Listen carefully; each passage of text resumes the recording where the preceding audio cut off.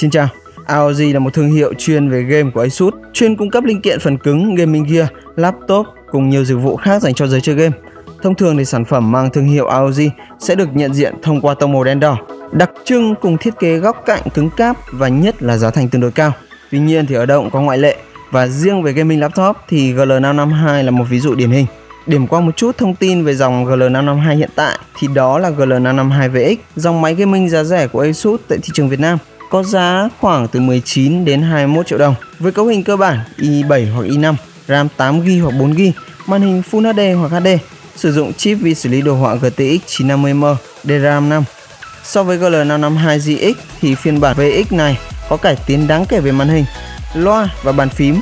Đặc biệt là VGA đã chuyển từ GTX 950M DRAM 3 thành GTX 950M DRAM 5, hiệu năng tăng ít nhất là 15%. Còn trên tay mình đây chính là GL552VX có mã DM070D.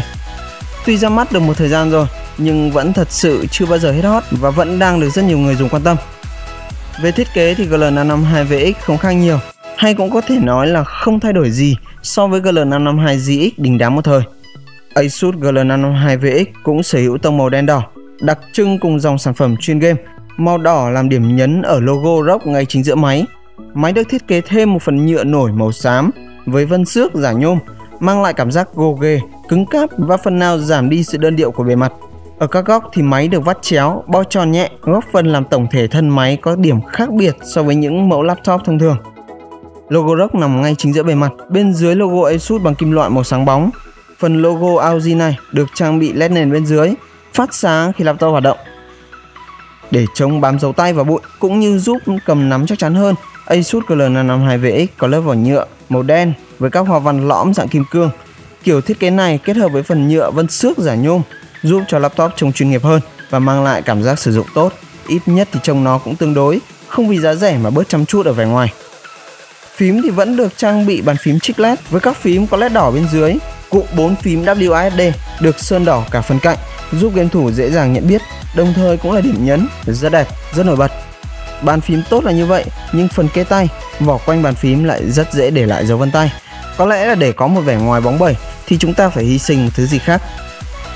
Sau sự ra mắt của dòng GL552ZX, Asus đã lắng nghe khách hàng và khắc phục khuyết điểm như bàn phím Topaz Op-F GL552VX đã cứng cáp hơn, không còn tình trạng bị lung lay như phiên bản trước. Phím bấm cũng có phần cứng hơn và vững hơn. Loa tích hợp đặt ở ngay trên bàn phím. Vị trí này giúp âm thanh đến với người dùng đầy đủ nhất khi chiến game.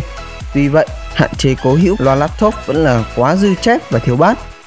Nếu muốn thực sự thưởng thức âm nhạc hay chiến đấu game và xác định hướng kẻ địch nhờ tiếng bước chân, hãy trang bị tai nghe chất lượng tốt hơn. Ở cạnh phải là khe tản nhiệt chính, khá nổi bật với các lá tản nhiệt màu sơn đỏ Điều mà mọi người quan tâm nhất trên máy này là liệu tản nhiệt có một quạt tốt như hai quạt không? Có thể nói so với một số máy hai quạt cùng tầm giá thì khả năng tản nhiệt của em này cũng không kém cạnh. Sẵn tiện giải đáp thắc mắc, một số bạn hỏi tại sao coi review nước ngoài nhiệt độ thấp toàn 7x mà về Việt Nam thì toàn 8x thôi. Có phải là Việt Nam chất lượng kém hơn không? Mình thấy thì điều này là không đúng. Đơn giản là Việt Nam mình nóng hơn nước ngoài rất nhiều. Nó cũng tương tự sự khác biệt khi tắt game ở trong phòng máy lạnh hoặc ở ngoài chơi vậy. Đó là về bề ngoài, còn về hiệu năng thực tế thì sao? Chúng ta sẽ cùng đến với phần benchmark test game kiểm tra nhiệt độ thực tế khi hoạt động ngay bây giờ.